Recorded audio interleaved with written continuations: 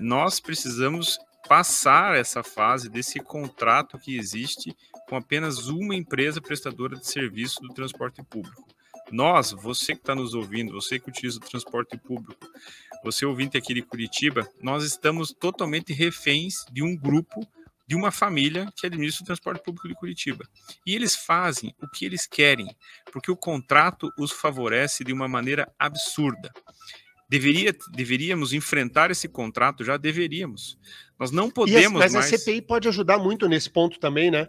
Porque a CPI fazer uma investigação profunda e de verdade mostra todas as debilidades do contrato para forçar o próximo prefeito a não repetir os erros do contrato atual. Porque se deixa tudo nebuloso como está, né, João?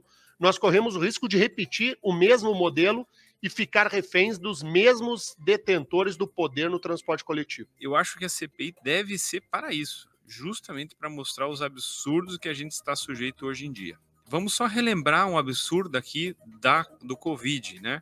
As empresas de ônibus durante a pandemia tiveram prejuízo, é óbvio, porque ninguém estava andando de ônibus porque estava tudo fechado, tivemos o lockdown para que as empresas continuassem a sobreviver, esse é o discurso que a prefeitura teve na época, a prefeitura subsidiou o transporte público, ou seja, deu dinheiro para empresário. Você, lojista, que teve a sua loja fechada, você não recebeu dinheiro da prefeitura, mas os empresários de ônibus receberam para manter as suas atividades. Eles não precisaram pegar dinheiro em banco. Eles receberam dinheiro da prefeitura para continuar pagando os salários. Por que, que isso só foi feito com, as, com o transporte público?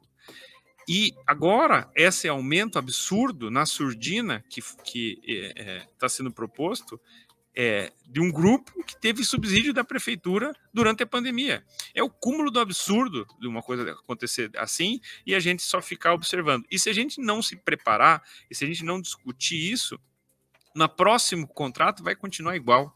E o que acontece? Só para ver para vocês saberem o seguinte: a prefeitura, por exemplo, ela não pode criar um outro modal de transporte é proibido, por exemplo, se a prefeitura quiser utilizar vans, ou se a prefeitura quiser utilizar Uber, ou se a prefeitura quiser fazer um contrato com uma outra empresa, ela é proibida, ela não pode fazer por conta desse contrato. E nunca ninguém teve coragem de fazer o enfrentamento. O Gustavo Fruit tentou e não conseguiu, e não, não persistiu nessa luta. Mas eu não vejo nenhuma chance nenhuma chance desse atual prefeito e desse, digo mais, desse atual grupo político que representa o prefeito, seja ele de qualquer partido, enfrentar essa situação.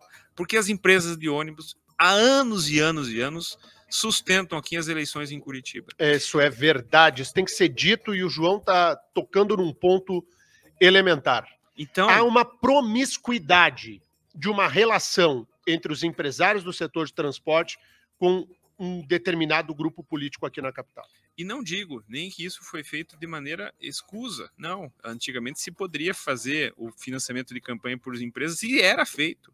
Então há uma ligação é, é, é, muito grande entre quem está no poder público da prefeitura de Curitiba há muitos anos, e não estou falando desse ou daquele, é um grupo político que representa há muitos anos, e as empresas de ônibus. Se não tomarmos cuidado, iremos renovar esse contrato desta maneira. E a CPI pode ajudar de indicar um novo caminho.